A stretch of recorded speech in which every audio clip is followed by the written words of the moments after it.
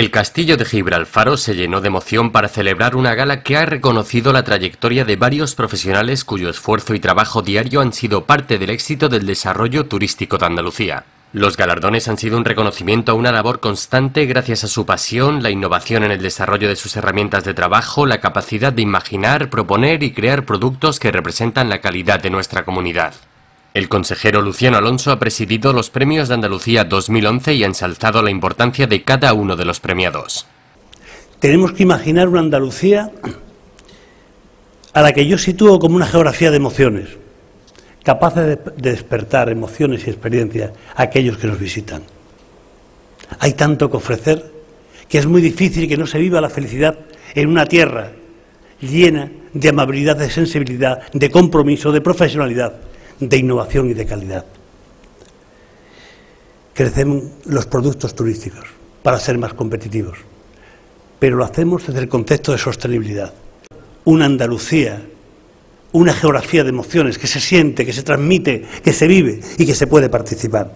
Mantener el liderazgo va de la mano de la diferenciación, de la puesta en valor de las ideas, de asumir cada día como un reto en el que crear algo nuevo donde la innovación y el desarrollo de las nuevas tecnologías cobran un importante valor.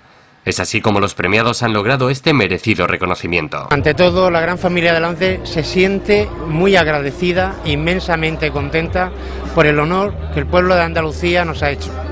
Pero a la vez nos sentimos cargados de responsabilidad, representar a este gran pueblo, representar a sus costumbres, a sus tradiciones, a todo lo bueno que esta tierra da, es una responsabilidad también inmensa. ¿no?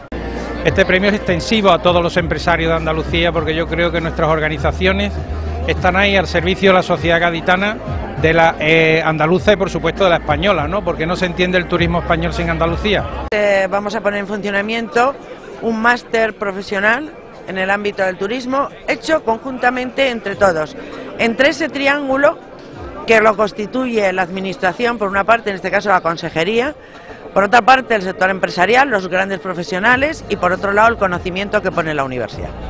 El broche de oro a la gala lo puso Pablo Alborán, con una voz que como un crisol de matices llenó de música el castillo de Gibralfaro donde cada palabra cobraba un sentido especial. Les dejamos con el tema que ha marcado la senda de la campaña turística de Andalucía este verano, Yo no te olvidaré.